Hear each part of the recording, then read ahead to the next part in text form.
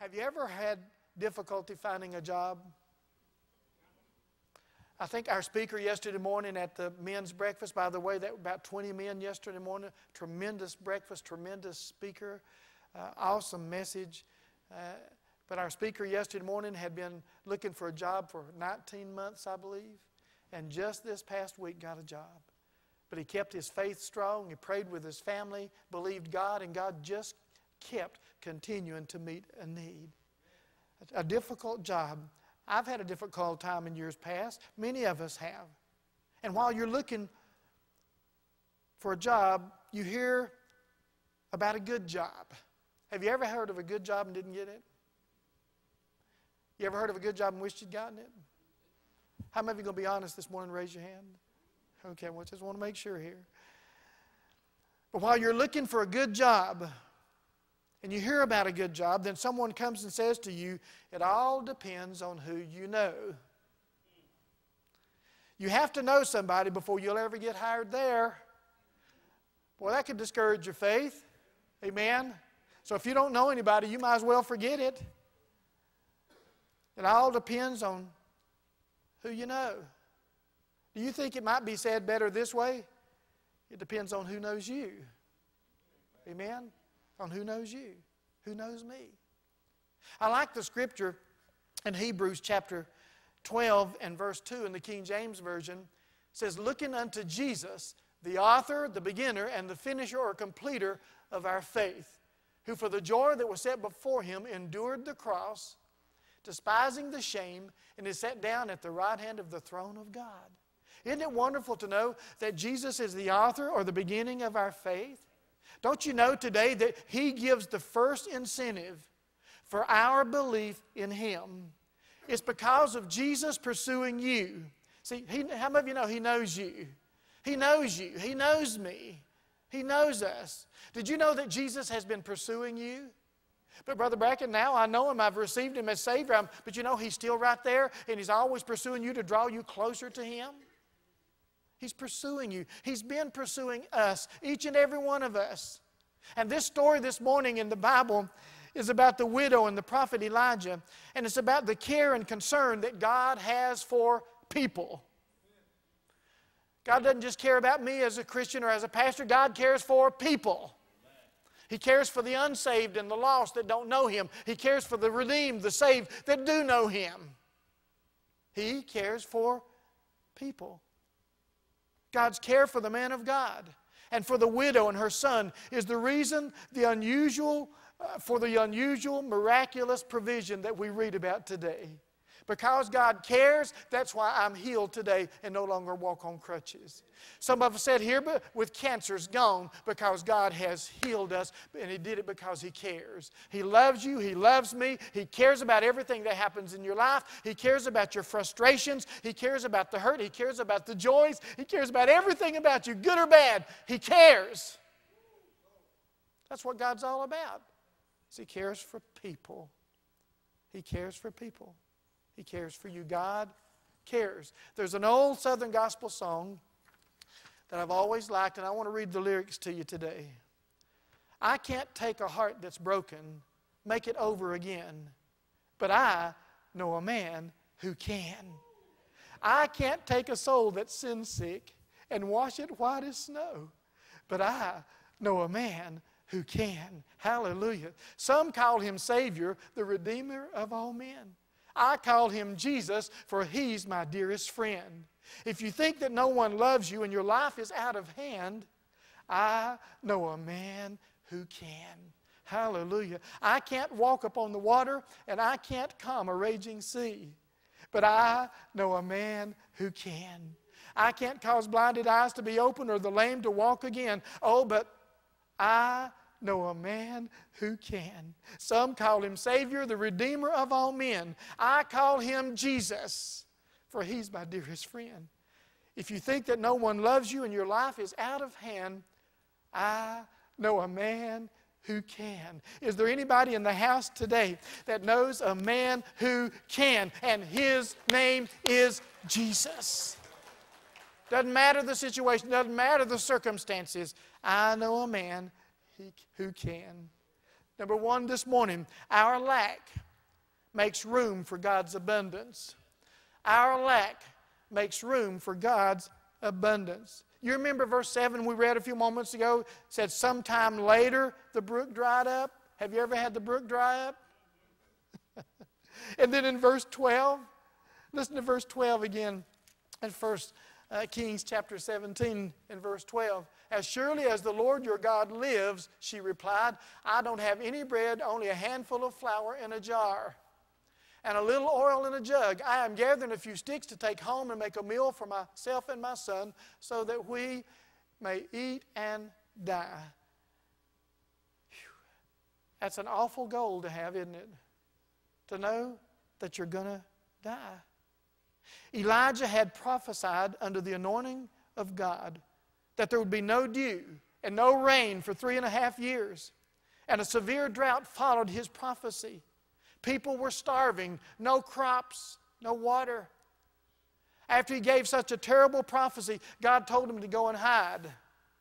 You know why he told him to go and hide? Because the king and the people thought the drought was his fault and they wanted to find Elijah. Let's get rid of the prophet and the rain will come back. Let's get rid of the man that prophesied this and the crops will grow again. Now I want you to look with me this morning, 1 Kings 17 and 1. Elijah the Tishbite from Tishbe in Gilead said to Ahab, As the Lord, the God of Israel, lives, whom I serve, there will be neither dew nor rain in the next few years except at my word. Then the word came to Elijah Leave here, turn eastward, and hide in Kerith Ravine, east of Jordan. You will drink from the brook, and I have ordered the ravens to feed you. Talk about room service. So he did what the Lord had told him. He went to Kerith Ravine, east of Jordan, and stayed there. The ravens brought him bread and meat in the morning, and bread and meat in the evening, and he drank from the brook. Now he had it made. He had it made, didn't he? He gave a prophecy nobody liked. Everybody was after him. The king wanted to kill him. But God said, Go hide. But while he's hiding, God miraculously provided. I've never been fed by a bird. Well, unless it's fried or baked. He had the water. He was cared for. How many of you have had times God has really abundantly blessed you?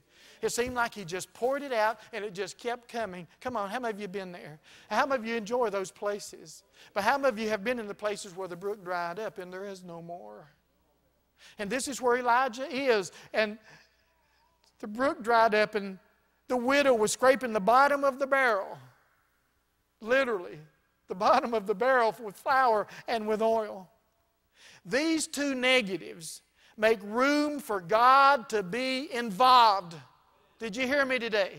These negatives made room for God to be involved. Is there anybody in the house today or watching by internet that are having situation, negative situations in your home, your health, your finances, somewhere in your life or around you? You have some negative things going on. Come on, raise your hand real high. Well, I want you to know this morning that those negatives are making room for God to be involved. I've never had a silver spoon in my mouth. Anybody else? How many of you can relate to that? But I know I am blessed. I am blessed, and so are you. Sometimes it take, takes scraping the bottom of the barrel so that we might trust in God's ability to provide. Only trust Him. Isn't that what song? Only trust Him now. And the way we learn to trust is by sometimes getting to the bottom of the barrel. I like it when the, there's plenty of money, don't you? I like it when the pantry's full. I like it when I can drive a newer car. And I'm really thankful we can put gas in the car. Amen? See, you and I need what is called ever increasing faith. How many of you like to have ever increasing faith? How many of you want your faith to grow, become stronger in, in your confidence in God and His ability? ever increasing faith. You see, faith that grows is faith that is tested again and again and again. Faith that is tested. Have you ever said, Lord, I've had enough testing? Have you ever felt like you failed the test? Have you ever known you failed the test? How many of you know you can also look back and see when you passed it. When you've kept your faith and you kept your confidence in Him. My faith that grows is faith that is tested again and again and again. In James chapter 1 and verse 2, he says, Consider it pure joy, my brothers and sisters. Let me put you in there. Whenever you face trials of many kinds, because you know that the testing of your faith develops perseverance. Perseverance must finish its work so that you may be mature and complete, lacking nothing. Our lack makes room for God's abundance. These verses lay out a path to abundance, to a supply, to a place of God's supply.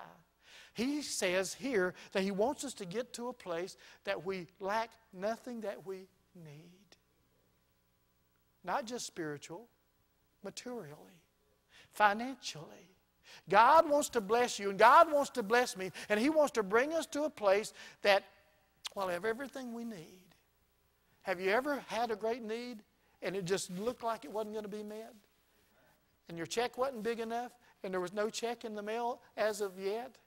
Or maybe the groceries were gone, the cupboard was bare, and you were beginning to wonder, God, what am I going to do to feed my family? And right at the moment when you needed the next meal, or right at the time when you needed to pay that bill, all of a sudden somebody knocked on the door or brought a box of groceries and came and met your need. God always moves on time. He's never late, He's never early. He's always on time because He cares for you.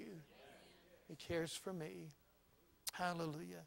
The second thing is faith speaks, faith obeys, and faith receives. Faith speaks, faith obeys, and faith receives. I've had plenty of testing of my faith. I've had some lately. Anyone else? Amen? Raise your hand if you had any testing of your faith recently. See? But see, God's wanting you to grow stronger. Perseverance, maturity, strength. He's developing that in your life through whatever it is you're going through. In the Old Testament, the people were taught to take care of the widows, make sure they're provided for in the Old Testament. And though that's true during the time of drought and during the time of famine, it was the widows, widows who would run out of food first. It was them. So here we are with our story. And it doesn't make sense. See, for God to say to Elijah in verse 9, Go at once to Zarephath for I have commanded a widow there to supply you with food. For him to say that made no sense. The brook dried up. I guess the raven doesn't say it, but I guess the ravens quit coming as well. And now he's going to a place where there's no food. Have you ever had God speak something to you or that made no sense? Have you ever had the Lord speak to you about going to see somebody or stopping by somebody's house and you were fearful, said, God, this don't make any sense. They won't receive me. They won't let me in. But when you obeyed, God moved, God worked, and He used you. The brook dried up. Ravens were no longer bringing food to Elijah. He was sent to a widow who was getting ready to fix her last meal for her son and herself. Elijah had nothing. The widow had practically nothing. How do you make something out of nothing? I can't do it. Can you? We, as men and women, we, if we're going to make something, we have to have something to make it from. How do you make something out of nothing? Elijah's leaving a place where there's nothing, going to a place where there's nothing. How many of you like for God just to send you where there's nothing? Put you in a situation where there's no food, there's no provision, there's no way of taking care of yourself in the natural. My. He had nothing. Oh, but I know a man who can. I tell you, Jesus can take nothing and make something. Jesus can provide when there's no other way. He will provide when there is no other way. My wife and I, more than once in our years of serving the Lord, have been at the place where our cupboard was bare and our money had run out, and somebody'd knock on the door and there'd be a box of groceries. Or somebody'd knock on the door and bring a check, and we'd go pay our bills. I know a man who can.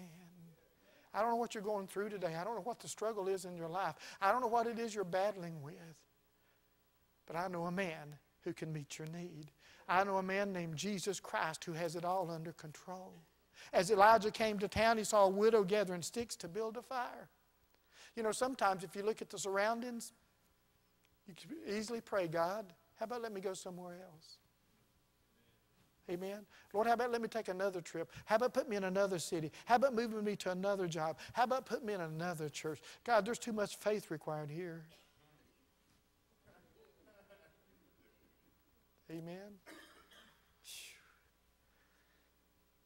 His first words to her, Would you bring me a little water to drink? That doesn't sound like much of a request.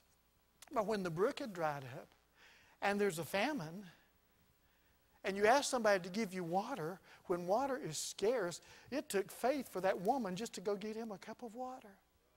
Are you with me this morning? Would you bring me a little water to drink? And I love verse 11, and it says, As she was going. There was drought and famine, water was scarce, but the woman, watch this woman's actions reveal steps of faith. As she was going,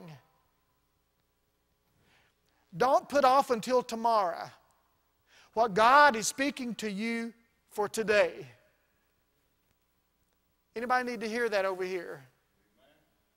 Don't put off until tomorrow what God is speaking to you for today. Because if He's speaking to you for today and we put it off till tomorrow, we may, we may miss the blessing. We may miss the provision. Come on, am I making sense this morning? As she was going, she's going to get water. Water is scarce. She's going to get a, a valuable commodity. And she knows she only has a little water. There's very little water because of the famine.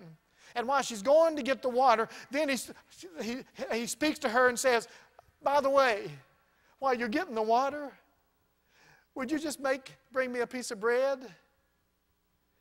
So she's going to get water that's scarce. She don't even have any bread made yet. She knows she has enough just for she and her son.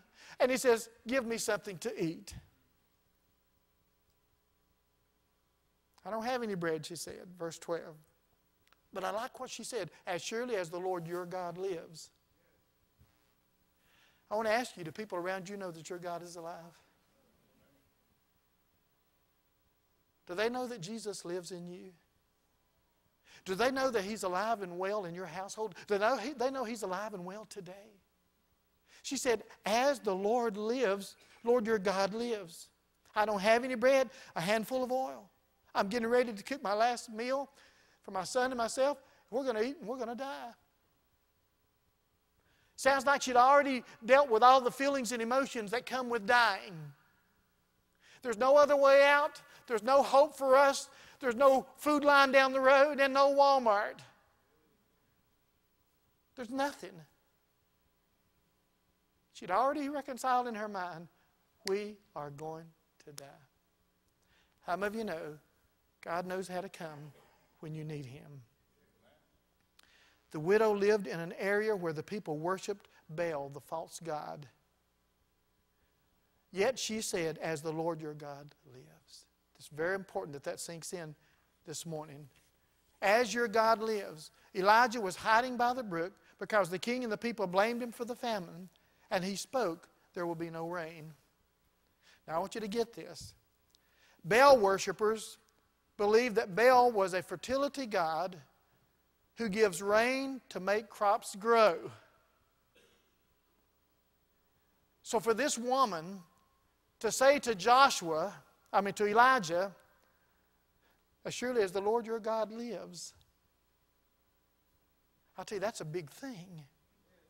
See, her God has already been proven to be a liar. See, there was no rain, crops were not growing, the fields had no grain for wheat to make the flour, no rain for olive trees so they could retrieve the oil for cooking.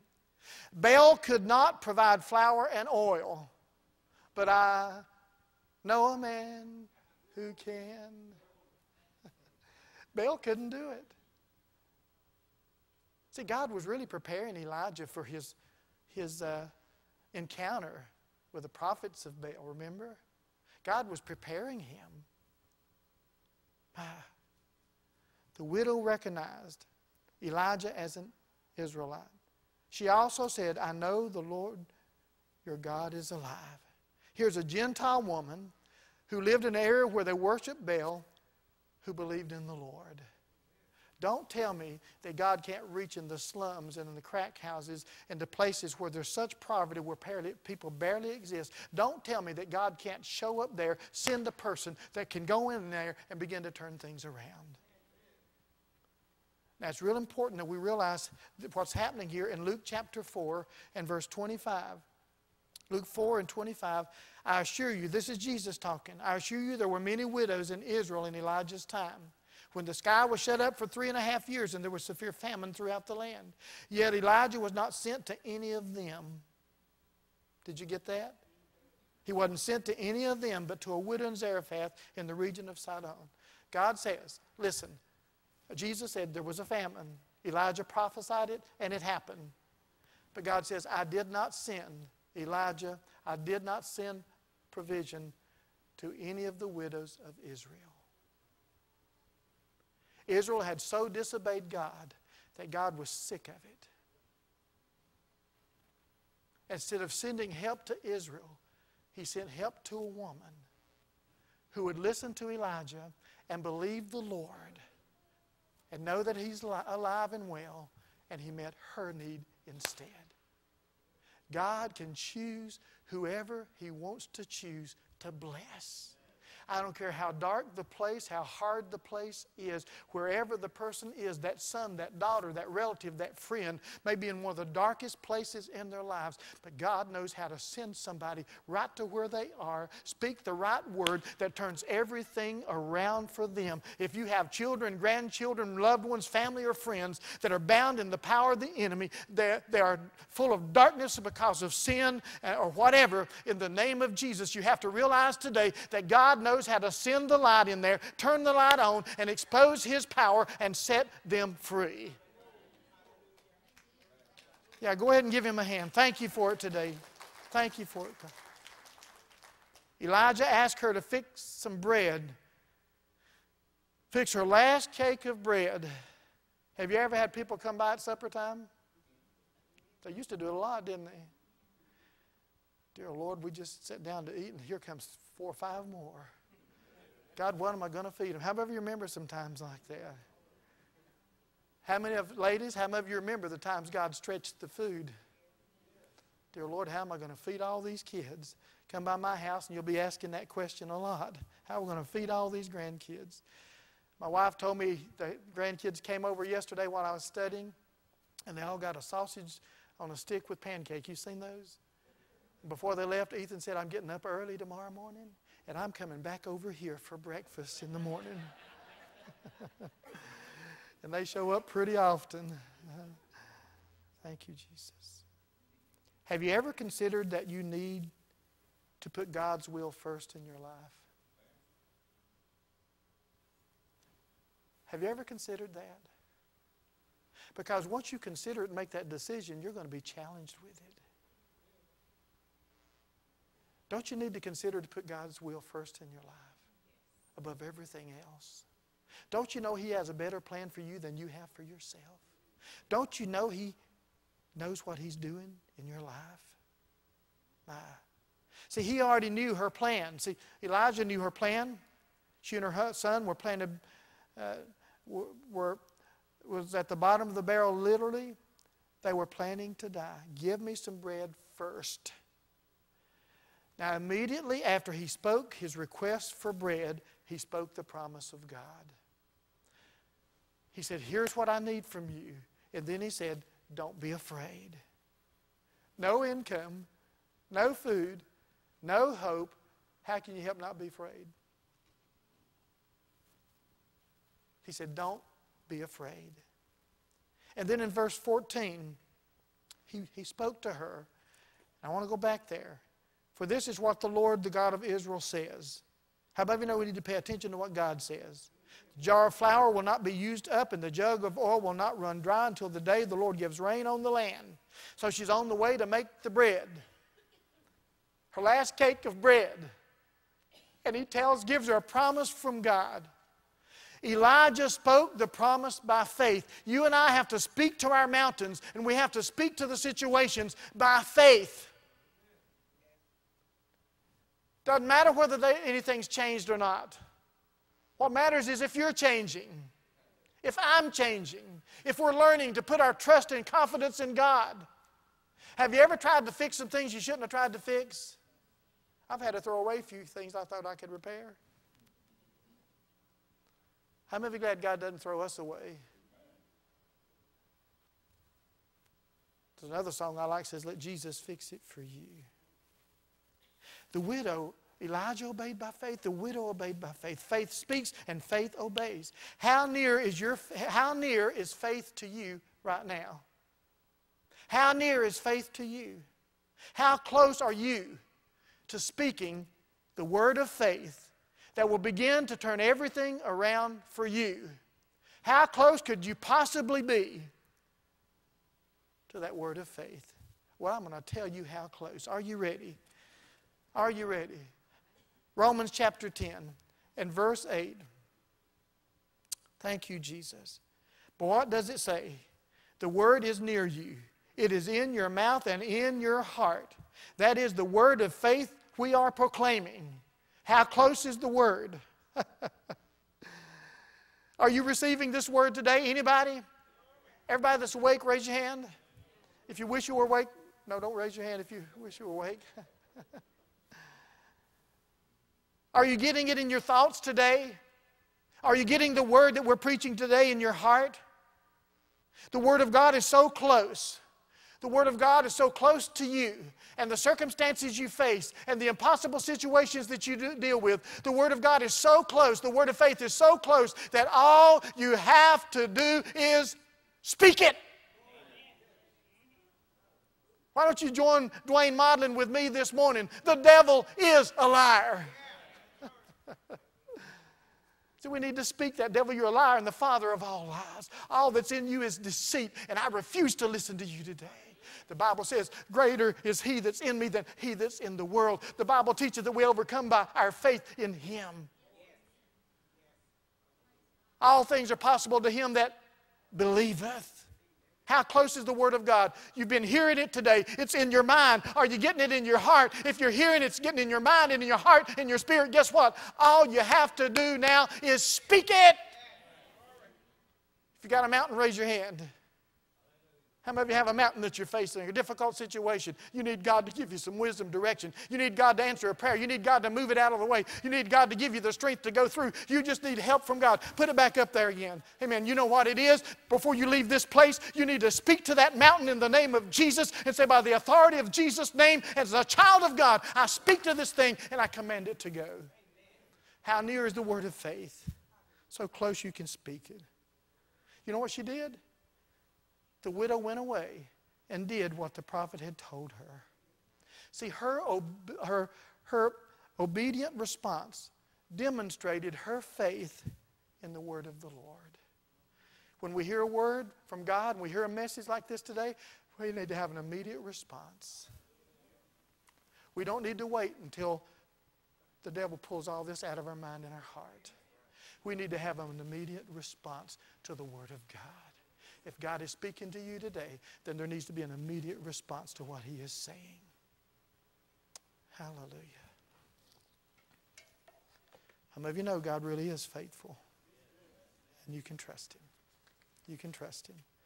Faith speaks and faith obeys. Now, 1 Kings 17, 15, 16. I know I've already read it, but I want to read it again. Amen. I want to read it again real quickly today. She went away and did as the, he told her. So there was food every day for Elijah and for the woman and her family. The jar of flour was not used up, and the jug of oil did not run dry, in keeping with the word of the Lord spoken by Elijah, in keeping with the word of the Lord, in keeping with the promise of God. You can trust the promise of God. You can depend on the promise of God. You can have faith in the promise of God.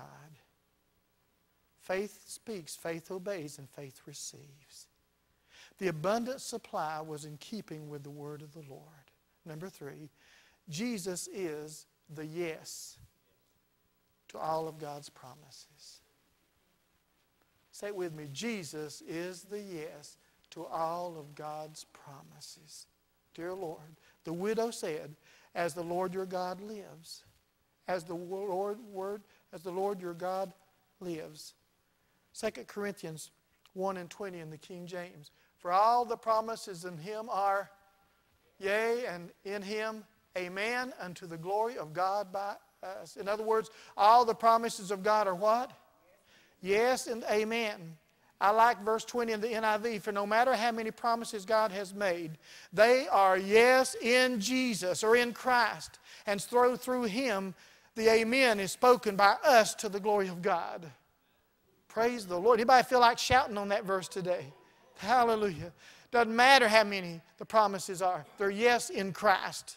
They're yes. See, Jesus is the yes and the amen to every promise in the Bible. Doesn't matter what it is. The amen. The amen is spoken by us. You know what amen means? Agree. It's done. Does anybody agree? Amen. Thank you, Lord. Our part is to believe the promises of God. Our part is to speak the promise that we know. It does not matter how many negatives there are in your life. These negatives make room for God to be involved. I need Him to be involved in some things, don't you? Matter of fact, I need Him involved in everything that has to do with me. The negatives are opportunities for God to be God in your life. Be God in my life. Our lack makes room for God's abundance. Faith speaks, faith obeys, faith receives from Him. Jesus is the yes to all the promises. Jesus is the yes. Just say a great big yes. Yes. When we stand on His word in faith, you know what Jesus says? Yes. He is the yes. He is the yes to your situation. He is the yes to your pain. He is the yes to your suffering. He is the yes concerning that job. When the brook dried up, when it dries up, guess what?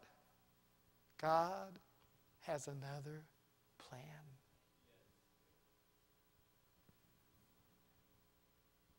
God has another plan. How near is the word of faith? You've heard the word of faith today. How near is it to you? It's near you, the scripture says. It's even in your heart and in your mouth. What are you going to do with it? What are you going to do with it? Put faith to work. Is anybody getting it besides me? Put faith to work because God cares. God cares. Will you stand? Thank you, Lord. I can't take a heart that's broken and make it over again, but I know a man who can. I can't take a soul that's sin sick and wash it white as snow, but I know a man who can. I can't walk upon the water and calm a raging sea, but I know a man who can. Some call him Savior, the Redeemer of all men. I call him Jesus, for he's my dearest friend. If you think that no one loves you and your life is out of hand, and you may be here in this service today or watching by internet, and that's how you feel. Or maybe in the future when you watch this DVD. But I know a man who can. Father, I want to thank you today because of your faithfulness. I want to thank you for your wonderful word that's full of power and of life and of hope. Lord, I want to thank you that you love us more than we can we even realize. And you work for us in so many ways and we don't even recognize it, God. Lord, you do love me, and I know it. Not, I know it because the Bible tells me, but I know it because I know you. God, I thank you that the negatives are just simply making room for you to work. Only you can take nothing and make something. God, I ask you to do it today. Romans 10 8 says, But what does it say? The word is near you, it's in your mouth and in your heart. The word of faith which we are proclaiming. That if you confess with your mouth Jesus is Lord and believe in your heart that God raised him from the dead, you will be saved. For it is with the heart that you believe and are justified, it is with your mouth that you confess and are saved. All the scripture says, anyone who trusts in him will never be put to shame. Father, I want to thank you today with the words of our mouth, God, believing that your Son of God, Savior and Lord, and with asking you to come in to forgive us, Lord, you change our lives. And then today, God, speaking what the Word says. God, we thank you for that today. We know a man who can. Who can. While your heads are bowed today, if you're here today and you, by internet or in the service, you say, Pastor Bracken, I heard what you read about believing in your heart and confessing with your mouth. I've never done that. And today I'd like to receive Christ. I'd like to know Him. I'd like to become a follower of Jesus. And I'd like to do it right now. Then the Lord is ready. And here's what you need to do ask Him to forgive you of your sin, come into your heart and be your Lord. Confess that He's Jesus, Son of God, buried, risen again, and alive. And He did it for you. If you'll pray those, that prayer and ask God now, He'll forgive and set you free. Hallelujah. Here's what we're going to do as we close. A lot of hands went up saying, I've got some negative things I'm dealing with. We said we need to, we need to, we need to address it now. Raise your hand again. Everybody has some kind of negative thing you're dealing with in your life or around you. Right where you stand, in the name of Jesus, will you just begin to speak out to God and say, God, and take a promise of God that He will supply it. Are you ready? You know where it is right now. Why don't you speak it to Him? You don't have to speak it to me. Speak it to Him. All over this house. You can be loud, you can be quiet, it doesn't matter. But take it to God right now. Jesus, I bring it to you. Lord, you see that situation. God, you see that situation with finances. You see that situation with health issues. Lord, you see the situation with a son or a daughter that's in drugs or in alcohol. God, you see the situation where a family member's in immorality. God, you see a situation where there's a need for a better job. God, you see every situation everybody's speaking of today as their hands are raised. And right now, God, we bring it to you. God, we speak it to you now. God, we declare it now. We speak it because the word is so near. All we have to do is speak it, but we speak it in faith, knowing that you hear us and knowing that you're working. And knowing that you're working. Knowing that you're working. In the name of Jesus, thank you for your answer. Thank you for your answer.